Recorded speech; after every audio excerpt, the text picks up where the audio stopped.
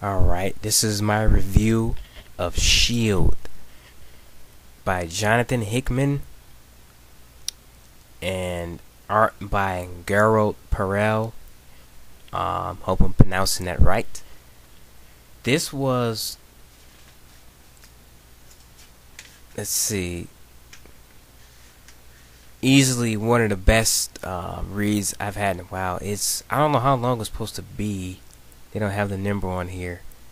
Because usually it says issue one of, you know, it's like issue one of six or issue one of twelve. I think it's gonna be like a twelve issue miniseries. I'm not for sure. So the idea is that they're gonna Marvel wanted to um, tell the history of Shield. Um, remember back when we didn't even know what Shield stood for. Now we know what that stands for, and it turns out that Shield has actually been around since ancient Egypt, which is very uh, cool. I love ancient Egypt and mythology, so you know right there, he's got my attention. Um, not only that, we get to see that other other figures in the Marvel universe. Um, back in 1953, we get to see um, national, you know, Nathaniel Richards. We get to see Howard Stark. Um, we get to see characters like Apocalypse, um, the original Moon Knight. We get to see, you know, Leonardo da Vinci is in here.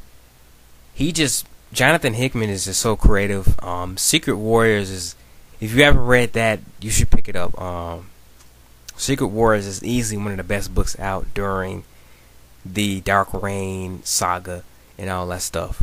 He um took a character like Nick Fury that was already badass and made him even more of a well made him even more of a third dimensional character.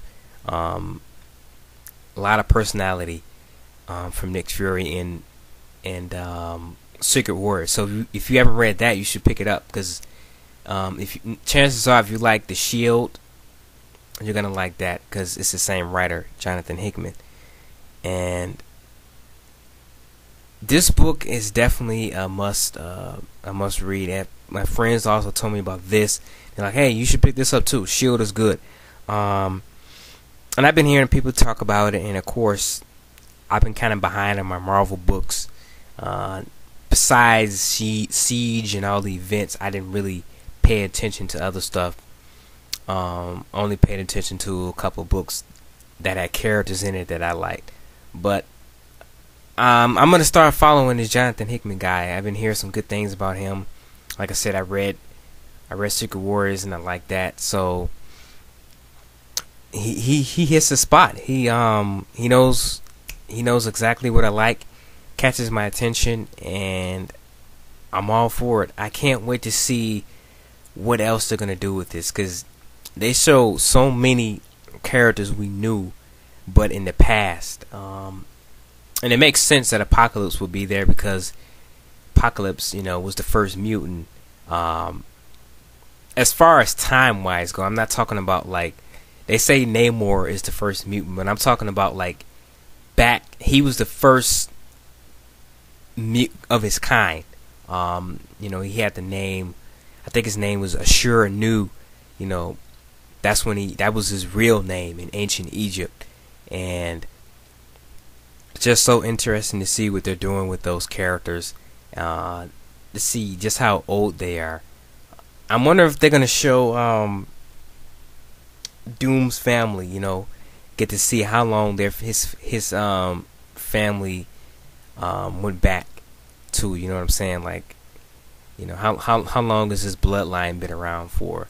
And uh, that's going to be very interesting. So, final thoughts. Definitely pick this book up. 10 out of 10. Artwork is great. Writing was great. Looking forward to more. And uh, that's my review of this book. And I am out.